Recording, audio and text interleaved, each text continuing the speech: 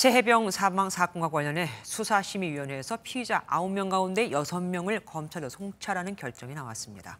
경찰은 오는 8일 자세한 수사 결과를 발표할 예정입니다. 심우영 기자입니다. 해병대 최상병 사망 사건을 수사 중인 경찰이 민간 전문가로 구성된 심의위원회를 열었습니다.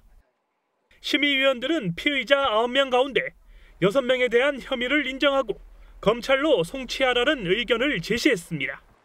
나머지 3명은 불송치 의견을 냈습니다. 송치 결정이 내려진 피의자가 누군지 등 구체적인 내용과 표결 결과는 공개하지 않았습니다. 비공개로 2시간 30분간 열린 수사심의위에는 민간 전문가 등 11명이 참여해 논의를 벌였습니다. 회의에는 또 경북경찰청 전담수사팀 소속 형사 일부도 배석한 것으로 알려졌습니다. 수사심의 의견은 경찰 수사 사건 심의 등에 관한 규칙에 따라 경찰 수사 결과에 기속되지는 않습니다.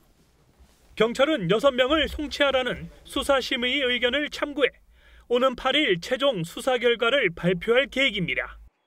MBN 뉴스 심호영입니다.